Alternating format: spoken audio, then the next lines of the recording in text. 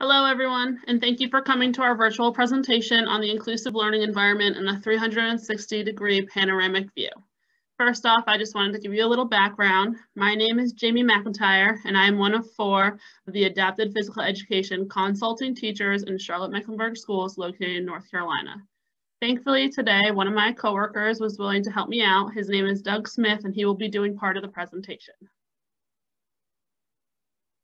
Our job is to support the PE teachers. They are the direct service providers, but we complete the students' evaluations, co-teach with them, and provide resources, ideas, and even collaborate with the EC teachers, who are also known as the special ed teachers in other districts.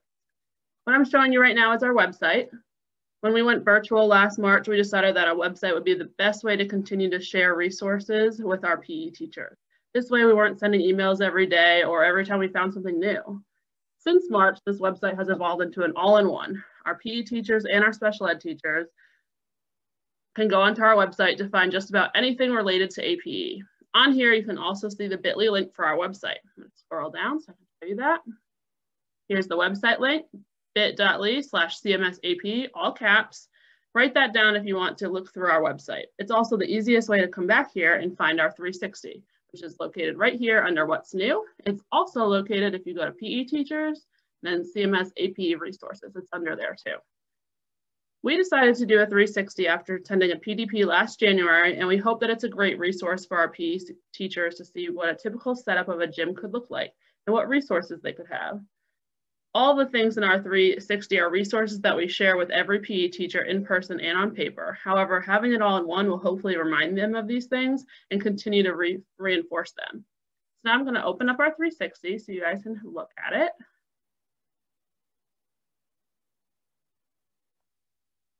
And here we go. Please note that when looking at our 360, that all of the numbers, so one, two, three, four, five, and six, are part of our schedule or structure of class. Any of the X's, so anything over here, are things that should be avoided. And any of the stars, see the stars, the green stars, are resources that are typically linked to something else. Now Doug is going to take over and tell you a little bit about universal design and how that's incorporated into our 360. Okay, thanks, Jamey.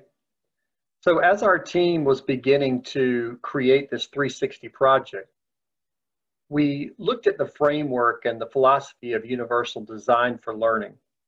Uh, and it really became the backdrop and the foundation uh, for this project. If, if you're not familiar with universal design for learning, um, I would encourage you to research it, dive into it a little bit. It really helps you to ask some questions about what are the best practices for students with disabilities and for all students of all abilities. It helps you to to look at some different strategies and techniques that address the needs of all these students, but gives access to the curriculum. It helps to eliminate barriers in terms of accessing that curriculum. So as you look around in our 360 project, you'll see the numbers and you'll see the stars. And a lot of those are strategies and techniques that are universal design that would work not only in a small group setting, but can work in a gen ed setting as well. So universal design for learning focuses on providing accessibility to the widest possible range of students. It's about being proactive and in designing your environment to make sure it gives students the most successful access to the curriculum. Some of these strategies include visuals and schedules, instant activities, a variety of levels of engagement, and a variety of different equipment that students can choose from or you can help students choose from. I want to give you a couple other examples of universal design. I'm going to share another couple of pictures with you. This is one of my favorite cartoons and it talks about um, it shows uh, uh, students trying to get access to their school on a snowy day and the school worker is shoveling the snow off of the stairs And there's a student who uses a wheelchair and he says, Could you please shovel the ramp, which is right next to the stairs? And he basically says, Well, as soon as I finish shoveling the stairs so we can get most of the students in, I will then shovel the ramp. But he says, But if you shovel the ramp first, we can all get in. So, a perfect picture of accessibility, of showing you that the ramp is the universal design strategy there. One other picture to give you an idea about it an automatic door. You see these at a hospital or a doctor's office or uh, at a grocery store, and you think, well, this is a great idea for someone who does use a wheelchair. But think about how many other people can benefit from this tool. If someone's escorting um, a patient into the hospital, if you are like many people right now, you don't want to touch doorknobs perfect way to enter the building.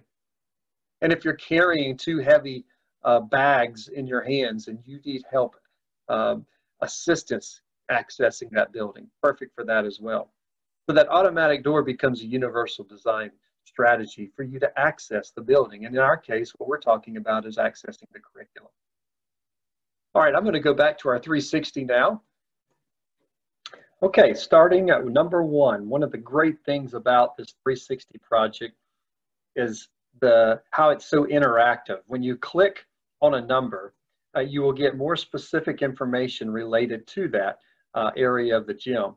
And so you'll see that here at the front door, um, you have uh, the, the rules and the expectations entering the gym. But first, it is so beneficial as the physical educator to meet and greet students as they enter that door.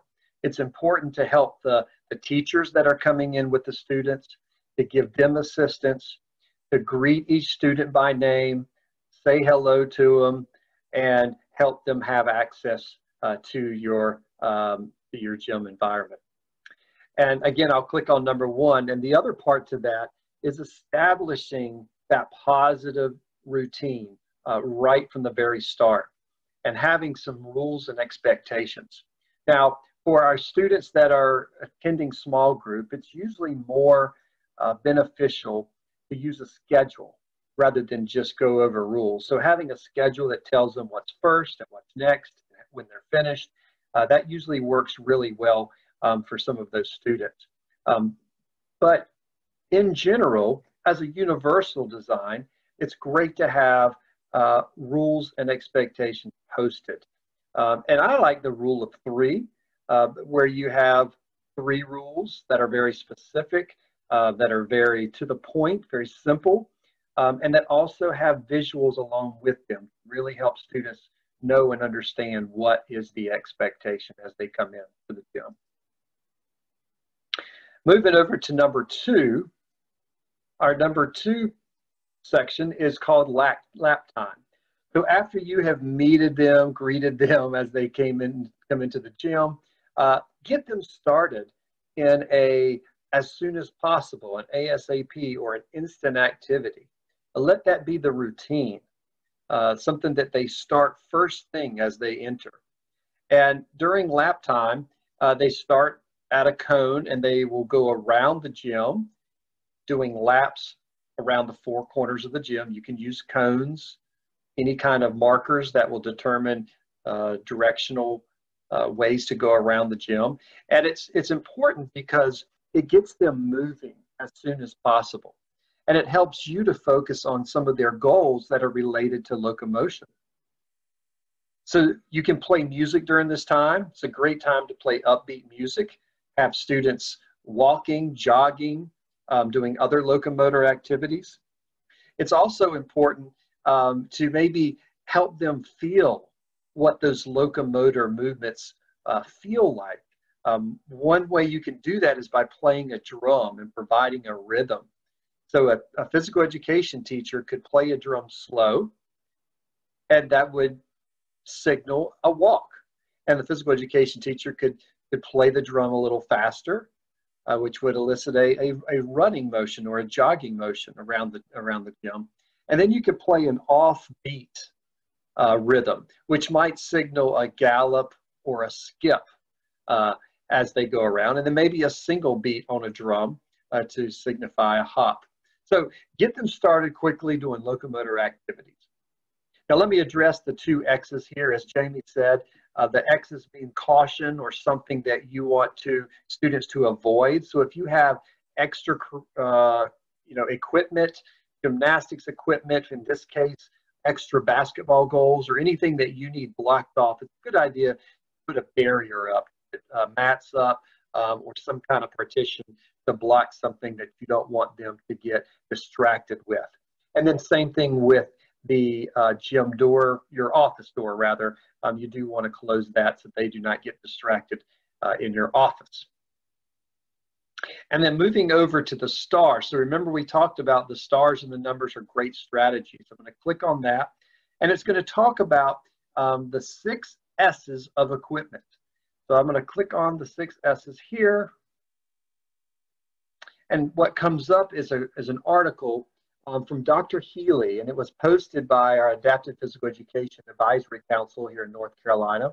And he uh, talks about the six different S's in relation to equipment and using a variety of equipment to help our students become successful. And so you see that providing a variety of sizes of equipment, maybe a larger ball would help students be a little more um, successful. The sound of the ball, if you have um, uh, students that need auditory support, giving them a bell ball or a beat ball would help it to be more successful.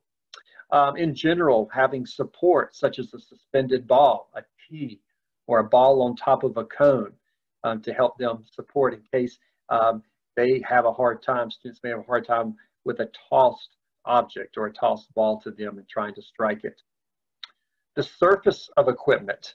So this can be adding texture to the to a ball or equipment uh, for a better better grip and a better handle. Um, things like a bumpy ball or a squishy ball uh, may help them catch, uh, be more successful with with that kind of um, texture and surface. And the speed of the ball. Uh, you know, think about equipment that if you toss it or roll it, it's not going to go all the way across the gym or uh, escape from them so that they have to run around and chase it. Think about a beanbag being tossed to a target. It's going to land and it's going to kind of stay there. So providing uh, different types of equipment that may help with a slower speed. And then switches uh, are great uh, use of assistive technology. Um, for example, if you have a student that needs to use a switch to project the ball down a bowling ramp, um, so very important there as well. So uh, great things to think about in terms of providing um, multiple types of equipment to provide success. And um, these are universal strategies um, that are, uh, help students to become uh, successful and to um, give them the best uh, access to their curriculum. All right, on to Jamey now. Thanks, Doug. Now we're going to talk about group time, which is number three on our 360, right here.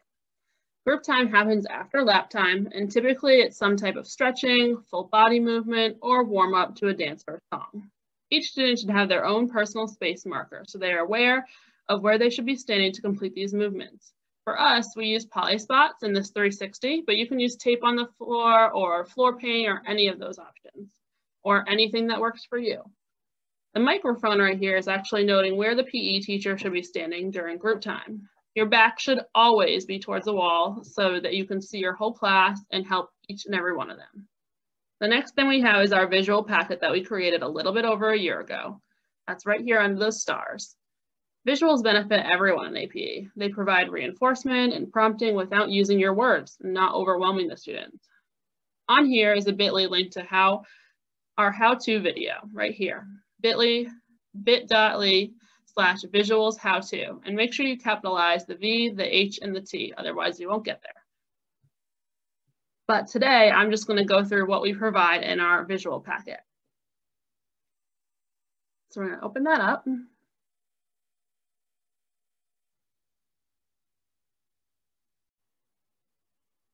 The first in here is the APE small group checklist, which tells some great ideas about how APE should work. So here is our small group checklist. The things that are included in here are the physical structure and visuals, communication strategies, teaching strategies, and even data collection or assessments. So that just gives you an idea of what should be expected in your class. And if you need help with any of those, we hope that our PE teachers reach out to us so we can come out and help or include in any of those strategies. The next thing in here we have is our AP handout classroom management. We are also going to go over this in just one minute because this is also the schedule that we're going to go over. So that's our small group adapted PE schedule. So if you just wait one minute, we'll go over that. The next thing in here is our class schedule for you to print out and you can laminate. This can be used in class. You can make a big one or just a sheet of paper. And this is where you put all your picture symbols down the line so you can see or so the students can see what is expected of them for this class. They know how it starts and how it ends. The next thing here is the first then board. which most of you I'm sure know, but first is the work that they're going to do, and then is the reward. So it might be that you need them to dribble 10 times, and then they get a one minute break, anything like that. The next thing we have is our lanyard. So we print these all out and then we laminate them and you can hook them right onto your lanyard so there's easy access to grab them. These are the typical quick picture symbols that you might need stand up, sit, walk, any of those, stop what you're doing, or it's time to work. And just because it's a desk, work is still in PE, they still need to do whatever is asked of them in phys ed, even though it's in the gym and they not, might not be at a desk. The next thing we have is large picture symbols. Those are just used as if you want to print them out bigger, but we also have the smaller ones that you can use on the smaller schedule. So you print them out, you cut them, and then you put them on the schedule. I'm sure some of you, if not all of you, have a visual schedule that you use, but these are the ones that we provide to our PE teachers. These are very basic, and there's obviously a lot more that we can share, but we just provide these to start, and then they can ask us for as many more as they need. The other thing right here is our numbered stations. So these are just big numbers, and then we just say place your picture to a visual here. So you might use these for lap time to tell them you go one, two, three, four to do your laps. But then these can also be used for your stations. So once lap time is done, you'll use the numbers and you'll put a picture here. Like maybe this station is basketball. So you put a picture of a basketball on one. And maybe station two is specifically dribbling. So you put a picture of um, someone dribbling a basketball. The next is the stop sign. So we typically give our teachers about four of these, but if they need more, we will supply more, or they can print them out on their own and laminate them themselves. We say to use these on any doors on the outside or any stairs, anything that's unsafe that you don't want teachers, I mean, you don't want students going on. And the last thing in here is our EC assistants in PE. So it's how to utilize your assistants in PE, whether, I mean, it might be your teachers too, the students' teachers that come in, but typically it's the teacher assistants that come in to help our students. So it just gives you some things that they should be expected to do. And if you're ever having difficulty with an assistant, you can always hand this to them just as a reminder that our students are still supposed to be working in adaptive phys ed, but they need to be helping them just like they would in the classroom. So it just goes through and has some activity ideas on the back. The last thing in here, I'm not going to show you, but it just goes over what's in the visual packet. That's just for us. We print it out and put it on the folder before we hand it to a, to a teacher, so we know that everything's included. All right, so we're going to go back to the 360. So I'm going to click the next thing, which is that schedule. So I wanted to go a little bit more in depth in this APE schedule. So I want to take one more minute to go over this. Having a schedule in place that all students can see as soon as they enter so they know what is expected of them will allow success. The first page is all reminders of things that you should be doing when teaching. APE. For example, space. Make sure if your gym is really big, you're dividing it into small sections. Sometimes a really big gym is just way too overwhelming for our students. And make sure you're removing any other materials around the gym. The next thing is visuals, which we just went over, but you can definitely have a schedule, have some picture symbols, have your stations labeled so they know what's expected of them and it's not just words. Uh, signal, so use a consistent signal from transitioning. So it can be a clap, it can be a whistle, anything that is just consistent. You use it every class, they know that's when they need to start and when they need to stop. And then the schedule is what we are gonna go over. Communication and collaboration, make sure you're talking to other teacher assistants and the EC teachers to see how they're doing and how the AP is helping them and if they're making progress on their goals. And then differentiating instruction, of course, we do that all day long, differentiating activities to meet individual needs, and then always promoting inclusion. That's a big one. We really hope that most of our schools are having our Gen Ed students attend with our special needs students so they can all work together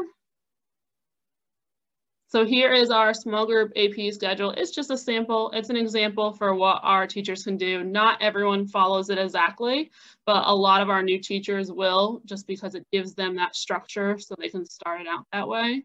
The first thing is you're welcome, so you greet the students at the door.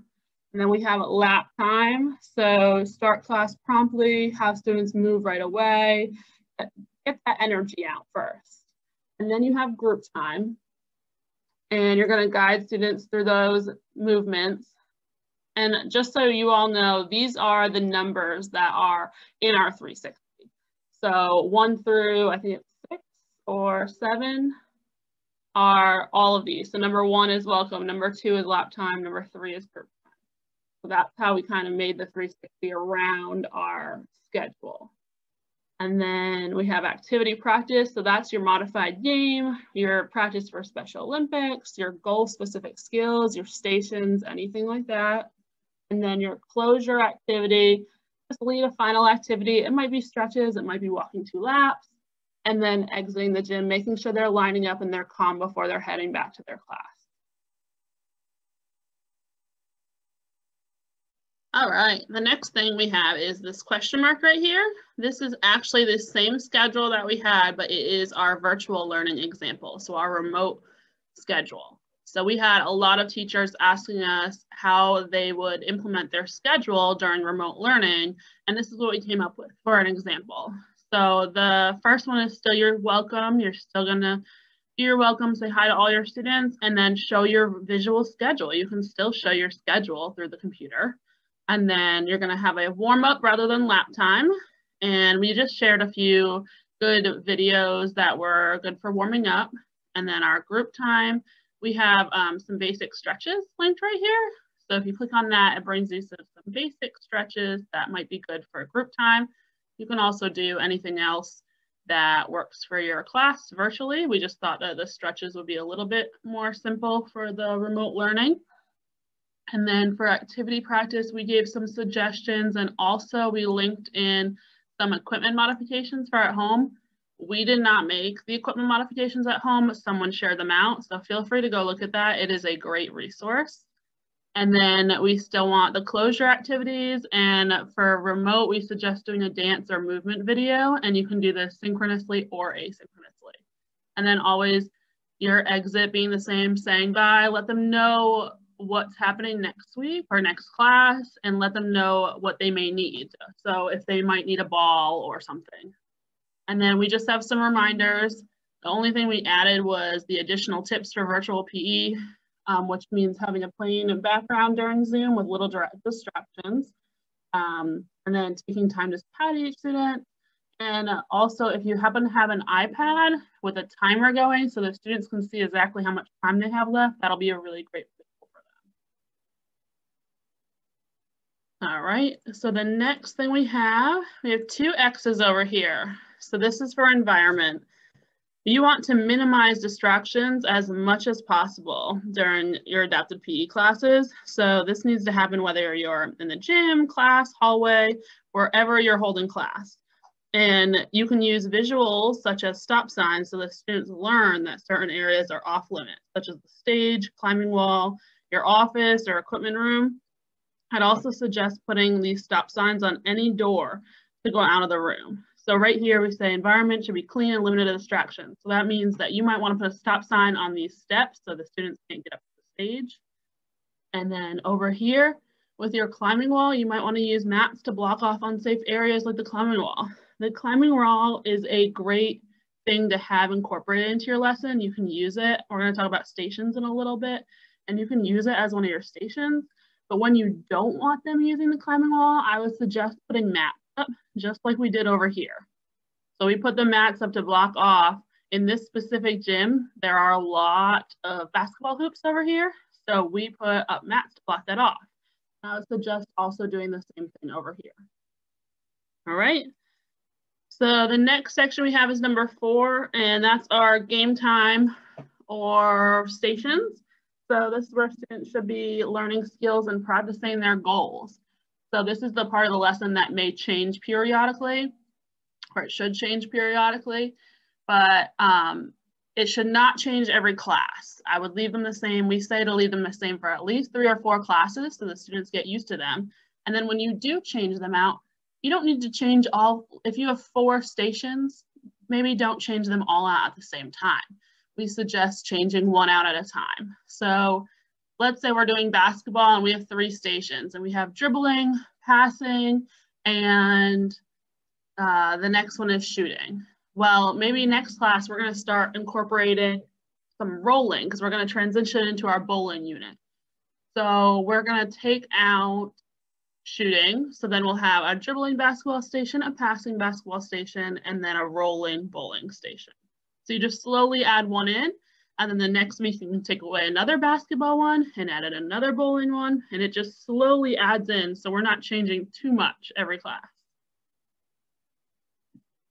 The other thing about stations is they can all have to do with the same thing, or they can be different things. So it can be four different basketball stations, or one could be balance, one could be soccer, one could be throwing. It just depends on what you're doing. Sometimes we like to have one station that is goal specific. So I would assign a TA with a data sheet to that station and have students participate in their specific goals. When applicable, of course. Some students have goals that are following directions or staying in their assigned area, those are things that you can take data on every class. But if a student has specifically a goal on certain object control skills or certain locomotor skills that you need to see separated from the class, this would be great to have a station just for that. All right, and now we're gonna go over here to number five, which is your final cool down, your activity or your closure. So we wanna make sure we have an an area for our closure. So this can be in the same spot over here where group time was. I would suggest if these poly spots are not in your way, you can leave them for the whole class. But if they are, just make sure you move them out of the way and then bring them back for closure. So examples of cool down would be relaxation with some music, some breathing exercises, some yoga, anything that's just gonna bring that activity, that energy level down. So we want them to go back to class ready to learn. They've learned so much. They've been working hard in PE. They just need a minute to get back down, bring that energy level down and get ready to go back into the classroom and, that, and sit in that air and get ready. All right, we have another X up here. Um, and we suggested also using mats to block off this ladder. Of course, the majority of gyms do not have a ladder randomly in it, but that's but this one specifically does. And your gym might have something that most gyms don't.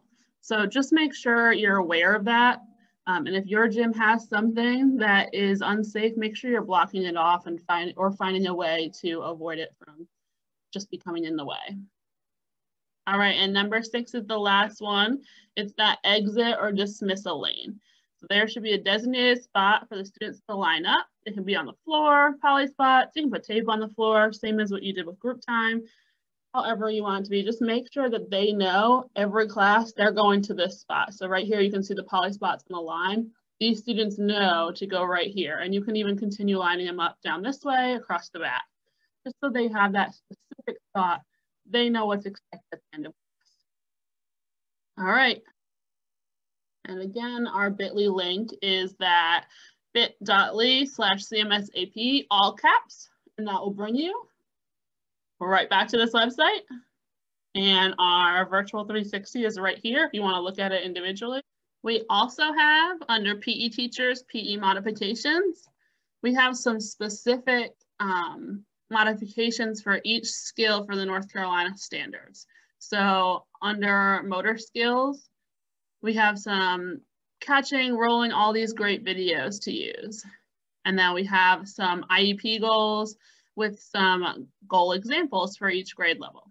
We are still updating this, so um, just be aware that some of them have not been put in. We have all the goals, we just have not had a chance with everything being a little crazy this year to actually upload them.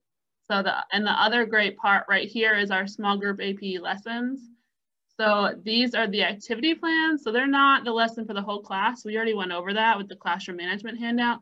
These are just the activity plans. So those stations that are changing. So again, this is still under construction. We are still adding to it. But I'll show you one of them. This is the Roll-O-Rama. Um, it has which standards you're applying and what, and here you would put what students' goals you're focusing on, what equipment you need, the safety, and then it breaks it down into rounds. And you can have these as rounds or you can have them as stations. It's however you want to use them. They're just a question. Okay, thank you so much.